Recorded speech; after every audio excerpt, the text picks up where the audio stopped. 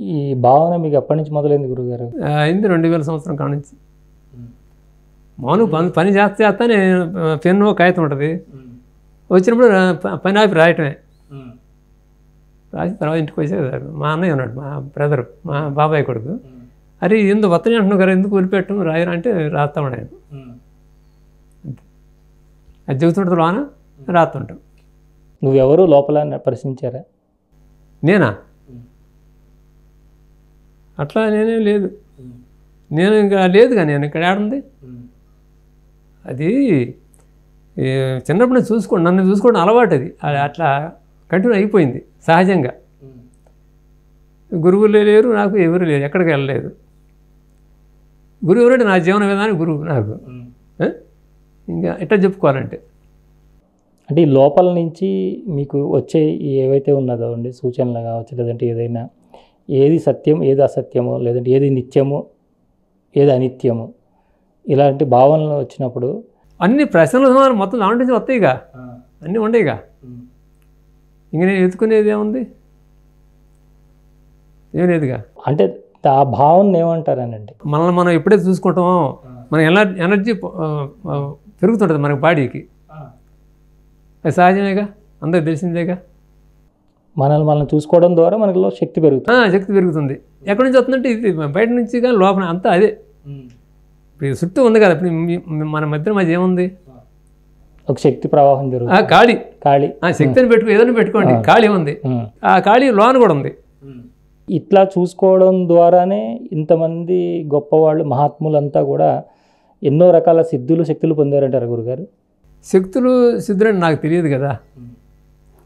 అంటే మనం చూసుకున్నప్పుడు. మహిమలు అనేవి మరి ఇది చూడకుండా నమ్మకూడదు కదా మనం. అది గతంలో జరిగితే జరగదు నాకు తెలియదు. మన సామాన్య రైతు జీవితం ఇది. నేను బయటికి వెళ్ళలేదు. పొలము ఏంటి ఇల్లు అంతే. ఏం లేదు. దేని ఈ మనసు ఏంటంటే దేని నమ్మదు. అసలు నమ్మటం అనేది లేదు. మనసు అంటే గురుగారు మన ఆలోచన. తెలియదు కదా తెలియదని ఎట్లా నమ్ముతాం? ఆ ఎ- ఎప్పుడైతే నమ్మకుండా ఉండటం వల్ల పరిశీలన అది కొనసాగవచ్చు అని అనిపించింది నాకు. అంటే నమ్మకపోవడం అంటే అది ప్రతిదాన్ని అనుమానించడం కింద రాదా గురుగారు? అనుమానం కాదు. రూఢి కావాలి కదా రూఢి. మనం చూడకుండా ఎవరున్నా పలానా చోట ఉందని అది అది ఉందని భయపెడితే మనం పోలేదనుకోండి మనకి తెలియదు కదా. కావాలి కాబట్టి మనం చూడాలి. ఇక్కడ మూర్ఖంగా వెళ్ళటం కాదు సహజంగా వెళ్ళటం. ముందుకు వెళ్ళడం సహజంగా. మన మీద మనకు అనుమానం ఉంటుందిగా? ఎవరికైనా ఉంటుందిగా? ఇది వ్యవహారిక జ్ఞానం కాదుగా? ఆంతరికమైన జ్ఞానం. దాని ద్వారా దీన్ని మెయింటైన్ చేసుకోవటం. అంటే ఇన్ని రకాల జీవరాశుల్లో మనల్ని మనం తెలుసుకునే విధంగా ఇప్పుడు ఈ జన్మ తీసుకున్నాం కదా దీనికి కారణం ఏమై ఉంటుందని ఏదైనా మీరు ఆలోచించారా అని? దీనికి కారణం ఏముంది? కారణం ఏముంది? ఏం లేదు కదా. ఎందుకు మనం ఈ జన్మ తీసుకున్నాము అనేది చాలామంది ఆలోచిస్తారు కదా. అసలు ఆ జన్మ ఈ జన్మ సార్థకత ఏ విధంగా చేసుకోవాలంటారు? ఈ జన్మకు లక్ష్యం ఏంటంటారు? మరి అవన్నీ ఏంటండి? లక్ష్యం తీసుకుంటే మనం ఒక పక్షంలో చేరిపోతాం కదా. ఒక లక్ష్యం పెట్టుకున్నాం అనుకోండి అక్కడ అక్కడ కొంచెం ఇబ్బందికరం అది. నేను అది దాన్ని సాధించాలి అనుకుంటే అక్కడ స్వేచ్ఛ లేదు. అంటే తను తాను వేధించుకోవడం ఇది అక్కడ. అంటే సాదా సేదా ఉండటానికి ఈ మనస్సు అంగీకరించదు. ఈ ఆలోచన వ్యవహారిక నేను. ఆంతరిక నేను అయితే ఇబ్బంది లేదు. అది అన్నీ కలుపుకొని పోద్దిగా. దీన్ని మన మన మధ్య ఉన్న ఖాళీని ఆంతరిక నేను పెట్టుకున్న పేరు. అంతే. ఎవరు పెట్టుకున్నాం ఈ ఆలోచనలు ఆపడం అనేది ఆలోచన ఎందుకు ఆపాలి? అది ఒక స్రవంతి కదా. అది మనకు అవసరంగా. అది ఎలా వచ్చినా పర్లేదు. మన లోపల మరి ఒక అలజడ తగ్గాలంటే మరి ఆలోచనలు ఆగి ఇది ఉందిగా. అనంతం ఉందిగా. ఎలాంటి దాన్ని దాంట్లో ఇమిడ్చుకుంటుంది కదా. తన్ను మరసి ఎవరిని తలుతూ అంటే మనల్ని మనం మరసి మనం తెలిసేది ఎవరిని? ఇందాక మీరు అన్నారు గురువు అన్నారు లేకపోతే ఇంకా దేవుడు అన్నారు?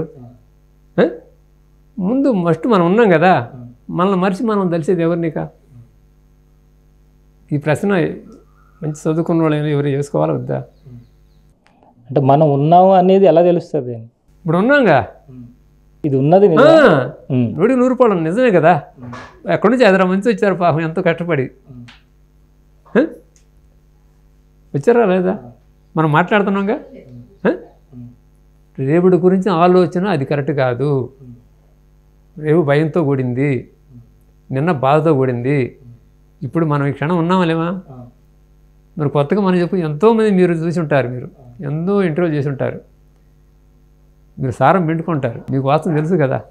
మీరు అనుమానంగా కావాలని అడుగుతున్నారు. ఇప్పుడు ఉన్నామంటే మళ్ళీ మళ్ళీ ముందు ఉన్నాం కదా.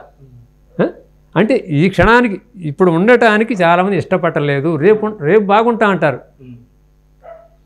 అంటే ఇవాళ ఈరోజు మర్చిపోతారు. రేపు నేను బాగుంటా. దీన్ని అసంబద్ధత అంటారు. అంటే మళ్ళీ అజ్ఞానం అని పేరు పెట్టుకోవచ్చు. ఇవాళ రాకుండా రేపు ఎలా ఉంటాం? రేపు గ్యారెంటీ ఉందా? ఇప్పుడు ఈ క్షణం ఈ క్షణమే మళ్ళీ ఉన్నాం- కాదు. ఎలా ఉన్నామనే దానికి అది వాళ్ళ వాళ్ళ మానసిక స్థితిని బట్టి ఉంటుంది బాధతో ఉన్నప్పుడు లేనట్టు ఆనందంతో ఉన్నట్టు అంటే మళ్ళీ దానికి మళ్ళీ తేడా వచ్చింది బాధతో ఉన్న ఉన్నవాళ్ళు దేని కింద లెక్క? దాన్ని ఎవరు తీసేస్తారు? ఒకరి వెంట పడితే పుంటక తప్పదు. అంటే అనుసరణ అనేది కొంతమేర వెళ్తాం. పూర్తిగా వాళ్ళు తీసిపోయి గద్దె మీద కూర్చోబెట్టడం అంటే మనల్ని కుదరదు. మీరు ఎవరిని ప పరిశీలించారు గురుగారు? మామూలుగా ఇక్కడ ఇప్పుడు బయట మనం చెప్పుకున్నటువంటి వాళ్ళలో కూడా ఎవరైనా గురువులు కానీ లేదంటే అందరినీ అన్ని అందరిని చూసాం. అన్నిట్లో ఉంటాం దేనికి చెందాం కదా? అన్నిట్లో ఉంటాం. మీకు దగ్గరగా వచ్చింది ఎవరైనా ఉన్నారండి? మీ ఆలోచనలకు దగ్గరగా? ఉన్నారు. కృష్ణమూర్తి బుద్ధుడు ఉన్నారు. ఫస్ట్లో శంకరాచార్యులు అందరూ రమణ మహర్షి వీళ్ళందరూ ఉన్నారు మెల్లి మెల్లి మెల్లిగా అది మనస్సే వదులుకుంటా పోతుంది అది అయితే ఈ ఏళ్ళను కూడా దాంట్లో వదిలేయటమే. పట్టుకోలేదు. ఎవరిని పట్టుకోలేదు. అందుకే అన్నిట్లో ఉంటాం. దేనికి చెందాం? మన ముందు ఉంటాం వీలేదు ఎవరు? అంటే ఇక్కడ అహం అహం కాదు. ఖాళీ కదా. దాంట్లో అది మొత్తం అయిపోవటమే దాంట్లో పోయి. ఖాళీ అంటే ఖాళీ చేయగా? అట్టి పెట్టుకుంటే మళ్ళీ ఇబ్బంది కదా. ఇక్కడ కావాలని వదులుకోవడం కాదు. సహజంగా. సహజంగానే అభిప్రాయాలకి దగ్గరగా ఉన్నంత మాత్రాన వాళ్ళని అనుసరించినట్టు కాదు. అభిమానించినట్టు అనుకో ఆ తాత్కాలికం. ఇది బాగుంది. ఎవరైనా అందంగా ఒక అమ్మాయి కానీ అబ్బాయి అందంగా ఉంటే అందంగా ఉందా అంటాంగా? అది మన సొంతం కావాలనుకోవడం కరెక్ట్ కాదుగా?